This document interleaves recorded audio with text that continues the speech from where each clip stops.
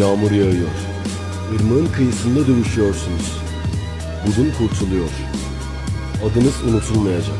1300 yıllık ölümden sonra dirileceksiniz.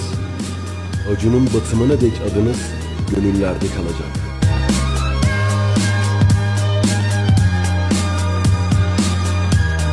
Kürşat tek başına Çin Kağanlığına karşı vuruşuyordu. Yalın kılıçtı. Börkü düşmüş, kaptanı parça parça olmuştu.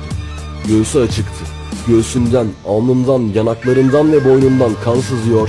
Fakat o yine vuruşuyor, dövüşüyor ve çarpışıyordu.